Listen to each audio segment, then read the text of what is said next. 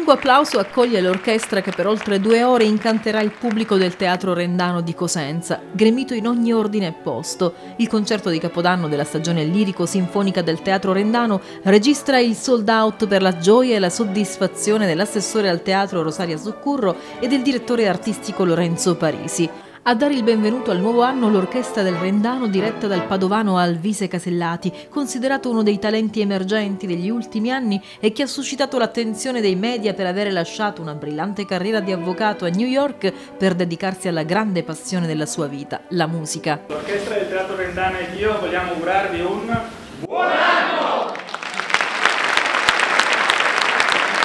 E così via la sinfonia del Guglielmo Tell di Rossini, l'Ouverture di Fliedermass, il pipistrello di Strauss, il valzer dei fiori di Tchaikovsky e tanta tradizione viennese. Secondo appuntamento della stagione lirico-sinfonica, primo del, del 2016, si parte col botto, un sold out per il concerto di Capodanno. Grande entusiasmo, grande partecipazione, abbiamo iniziato il nuovo anno sotto i migliori auspici e continueremo ancora fra qualche giorno un, con il Teatro Rendano sarà il palcoscenico ideale per i tanti bambini e le tante famiglie che qui verranno per questo concerto di musica dedicato ai bambini, un concerto di Walt Disney con la voce di, e, la, e le musiche e le parole di Rosa Martirano.